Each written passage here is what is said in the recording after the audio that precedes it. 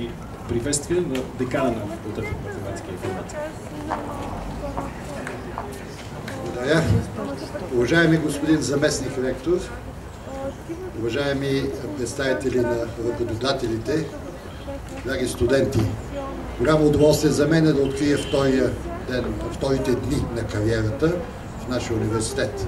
Тези дни на кариерата са организирани от страна на факултета, от кариерния център, съвместно с Job Tiger и са спонсорирани от Буба.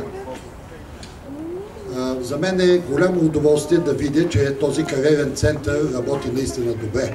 Трябва да ви кажа, че когато го основавахме, аз имах известни колебания, защото считах, че това ще е един от поредните проекти, който няма да върши никаква работа, само ще харчи бюджет, но се оказа, че студентите проявяват голям интерес към центъра и а, нещо повече, самите фирми проявяват интерес към този център, което смятам, че не е случайно.